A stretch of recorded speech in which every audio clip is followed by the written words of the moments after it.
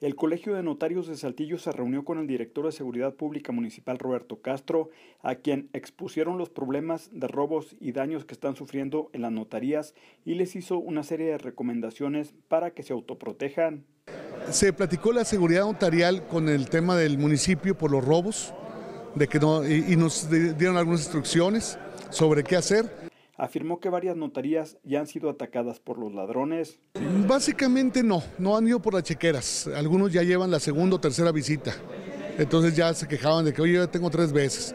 Este, ¿Qué hacemos? Ya no hay nada, pero me revuelven los papeles. Este, no se han llevado máquinas, no se han llevado nada. En una notaría exclusivamente sí, se llevaron las computadoras y se llevaron hasta un, un sofá. Se pidió a los notarios redoblar sus medidas de seguridad. Que tengan vigilancia, que tengan cámaras, que tengan, este, que estén monitoreando. Le dije, pues pongan velador, si tienen un perro, pongan, dejen un perro ahí, no sé.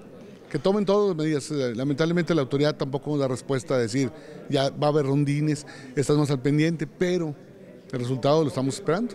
Los notarios consideran que la inseguridad va en aumento. Con la cámara de Gerardo López para RCG informó Eduardo Sarabia.